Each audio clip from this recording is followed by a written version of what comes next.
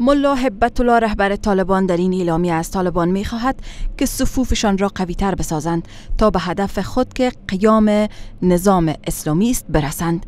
اما این رهبر جهادی اعلامیه طالبان را خودخواهانه می داند و می گوید که برخورد یک جانبه امریکا با مردم افغانستان علت این حس پیروزی طالبان است. برزا طوری رساندم که خود شما یک قدرت بزرگین در کشور ما تنها با شما امضا می‌کنیم این قرار داده این سبب شد که برای بیشتر برای غرور بیشتر ایجاد کنه.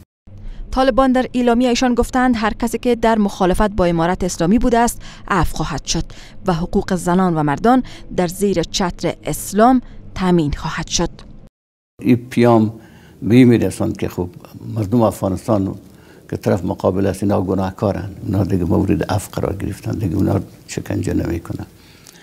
همچون برخورده ها اینها سبب میشه که روند صلح با این برتری جوی ها نمی‌تونه که با آرامش به طرف موفقیت به پیش ببره. قرائت طالب ها از اسلام یک قرائت افرادگرایانه و رفتارشان که منتصب به اسلام می‌کنه یک رفتار متکبرانه و همراه با خشونت های بیپایان بوده کسان نزدیک به طالبان خواست رهبر طالبان را برای انسجام بیشتر سربازان طالب از بهره به دست آمدن اهداف سیاسی می دانند.